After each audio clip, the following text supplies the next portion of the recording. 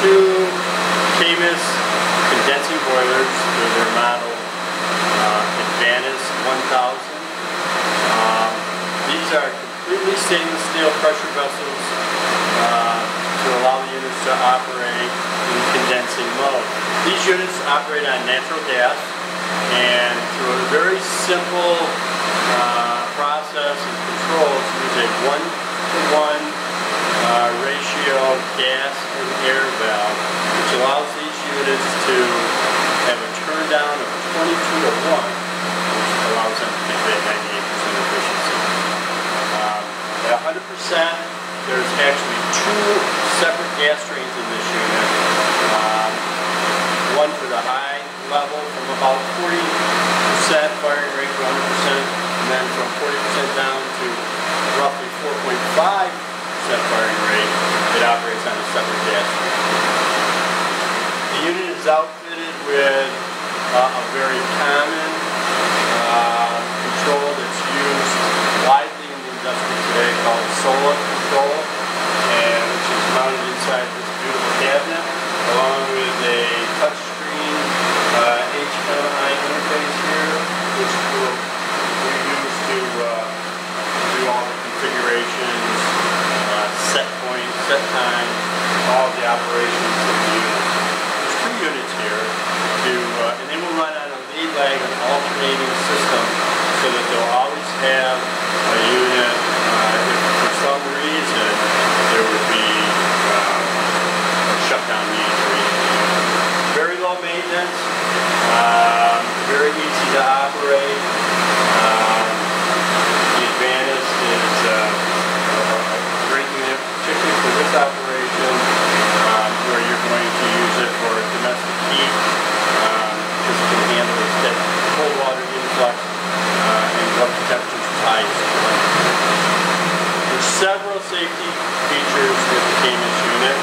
You're protected with your uh, air inlet to make sure that there's combustion air. There's black fluid protection. There's water pressure, uh, temperature um, protection, water pressure, water flow pressure, water flow protection as well. Uh, we'll look at all those controls here in a minute. But um, here I just wanted to show you the screen. This is the typical screen that the operator will be looking at. It has on it what the inlet temperature is, the outlet temperature, it monitors both the stack temperature, the signal, operates on a 420 milliamp signal for the range operation, and along with the flame signal to tell us our flame strength, and uh, an indicator if the unit is, is approaching a point where it may need some maintenance. Um, this particular unit is going to be configured for domestic hot water. We're going to be using it for their, their sinks and for their eye wash stations. Uh, and we're going to try to maintain a 140 degree uh, operating temperature with a 10 degree uh, hysteria differential both for on and off. Um, this system will be flowing along with a buffer tank, constantly maintaining that 140 degree water to have available for the stations and the sinks whenever needed. Um, there's several screens um, to this configuration. It allows you to set up your particulars, your options that you want, from naming the unit to if you want frost protection. Several features along the way. This is also where you would uh, configure the lead lag, how many days you want the lead to run, and then to switch over to the lag boiler and back and. Along with that, there is a screen here that allows you to bypass the modulation to put the unit into a manual mode where you can control that firing rate. Very helpful when fine-tuning combustion so that we can hold at a particular percentage and fine-tune our air and our uh, CO2 as well.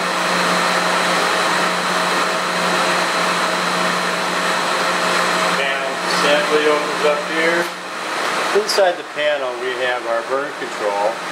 This is uh, outfitted with a SOLA control by Honeywell. very popular, very global control used in most heating appliances today of this particular size. This monitors the flame, temperatures, all the safety controls are operated through here. Um, looks like a busy panel, there's a lot of wires in here.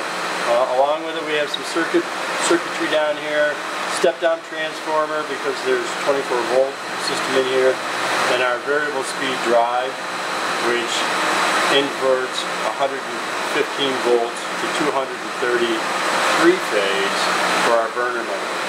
And because of that VSD, that's what allows us to have that fine tuning, that one-to-one -one turn down of gas-air ratio and mixing the proper amount of air at the right uh, RPMs with the amount of gas that are flowing through the valves.